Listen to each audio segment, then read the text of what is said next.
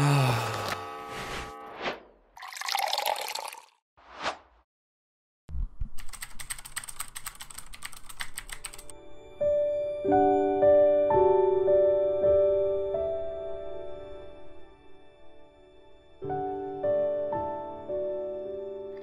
thái Vân Linh Các bạn trẻ đi làm không nên về trước 7 giờ tối, như vậy là quá sớm. Ngoài thời gian đi làm cơ bản từ 9 giờ sáng đến 6 giờ chiều, Sắc thái và Linh cho rằng các bạn trẻ nên ở lại công ty làm thêm các công việc khác nghiên cứu thêm kiến thức để có sự chuẩn bị đầy đủ trước khi cơ hội tìm đến ba cuộc phỏng vấn tuyển dụng tương đương với công cuộc chuẩn bị trong 10 năm trời. Không phải ngôi sao truyền hình hay diễn viên nổi tiếng, nhưng sắc thái Văn Linh, giám đốc chiến lược và vận hành quỹ đầu tư Vina Capital vẫn được nhiều bạn trẻ yêu mến nhờ những chia sẻ thẳng thắn, mang tính định hướng cao.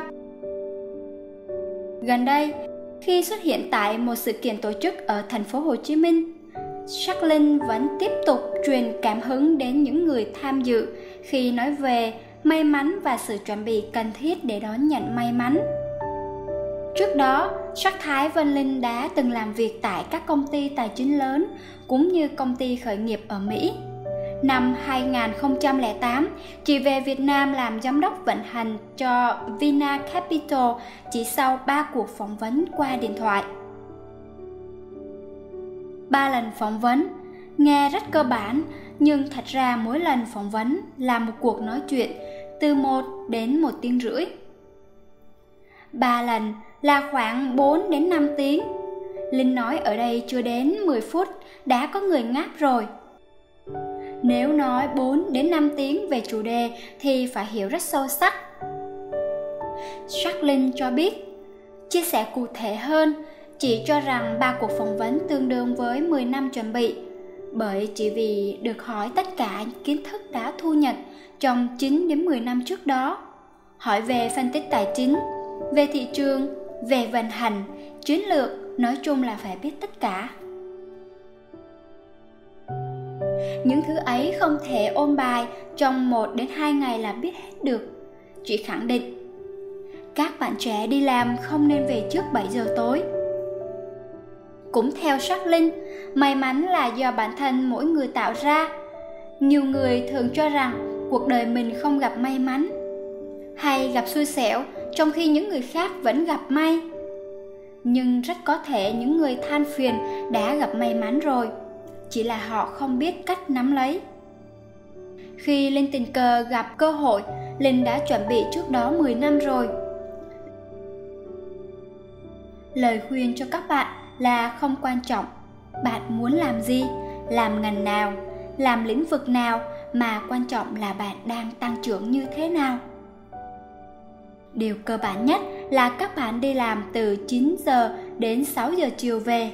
Nhưng sau đấy, các bạn phải làm thêm cái gì đó nữa. Nghĩa là các bạn không nên về trước 7 giờ. Giờ đó là quá sớm rồi. Các bạn có thể ở lại làm thêm công việc khác, trả lời mail, nghiên cứu thêm. Tới khi về rồi, cũng có thể nghiên cứu thêm nữa chỉ có như vậy các bạn mới có đủ sự chuẩn bị để nắm lấy cơ hội sắc thái vân linh kết luận. Được biết đây không phải là lần đầu tiên sắc linh khuyên các bạn trẻ nên chú trọng vào vấn đề phát triển công việc. Năm ngoái tại một buổi giao lưu giữa các cá mập trong game show Shark Tank Việt Nam với sinh viên thủ đô Linh cho rằng ở tuổi 20, các bạn trẻ nên tập trung vào công việc thay vì nghĩ đến vấn đề cân bằng cuộc sống. Năm 20 tuổi, họ có thể dễ dàng nói tôi không biết và sẽ có nhiều người sẵn sàng giúp đỡ. Đến khi lên tới 30, 40, có nhiều vấn đề mà họ không thể tiếp tục nói tôi không biết được nữa Vậy thì trong độ tuổi 20, các bạn không nên suy nghĩ cuộc đời thế nào, đi chơi ra sao. 20 tuổi là cơ hội duy nhất để các bạn học hỏi càng nhiều càng tốt. Jacqueline khẳng định. Nói một chút về tiểu sử, Jacqueline cho biết chị sinh ra tại Sài Gòn. Năm 2 tuổi, Jacqueline theo mẹ vượt biên qua Mỹ. Sau đó ở đây cùng với mẹ, ba nuôi và vài năm tiếp nữa là em gái. Mẹ chị là thợ may gia công, ba là thợ cắt cỏ nên khoảng 10 tuổi Jacqueline đã bắt đầu may phụ mẹ và 12 tuổi đủ chiều cao thì đẩy máy cắt cỏ giúp ba. Ban ngày đi học, tối về giúp ba mẹ, cuộc sống rất bình dân, cơ bản nhưng hạnh phúc vì có sự ủng hộ của ba mẹ. Jacqueline nhớ lại. Quyết định lớn đầu tiên liên quan đến sự nghiệp là khi chị tốt nghiệp đại học. Charlene cho biết thời điểm đó chị đã nhận vào một công ty tư vấn lớn của Mỹ. Tuy nhiên, cách các công ty lớn ở đây vận hành khá kỳ lạ. Họ sẵn sàng tuyển những sinh viên vừa tốt nghiệp, đưa ra đãi ngộ hấp dẫn nhưng lại yêu cầu chở thêm nhiều người khác để sau đó đào tạo làm việc cùng một lúc. Khoảng thời gian này tương đương với tầm tháng 8, tháng 9 trong năm. Linh tốt nghiệp tháng 5, bỏ ra một tháng đi chơi nhưng sau đó trở về lại không có tiền. Linh tự hỏi, như vậy thì tháng 6 đến tháng 9 mình biết làm gì để sống? Giải pháp chị nghĩ ra là làm tiếp thị tạm thời ở một công ty khởi nghiệp. Dù không quan tâm đến thị trường nhưng cần tiền nên cứ làm đại đi. Kết quả là khi vào làm, chị lại cho rằng đã quyết định làm gì đó thì nên làm hết sức.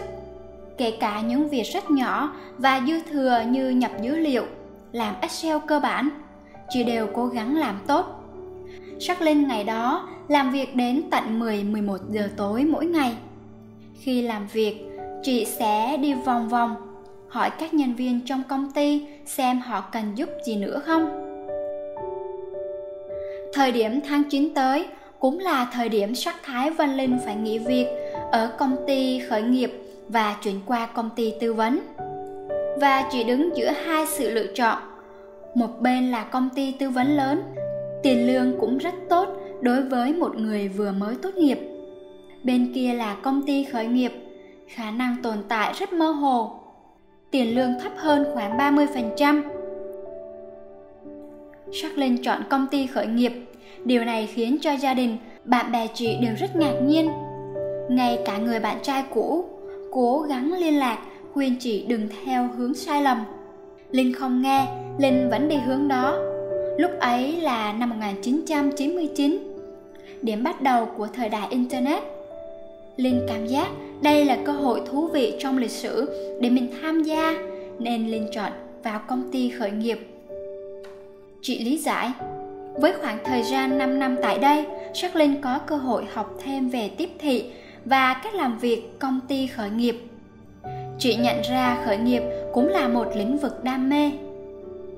Từ đó Jacqueline khuyên các bạn trẻ khi gặp cơ hội mà mình cảm giác là không quá tuyệt vời các bạn nên suy nghĩ cân nhắc bởi vì có những lúc hướng đi đó sẽ tốt hơn những cái gì có quá nhiều người đam mê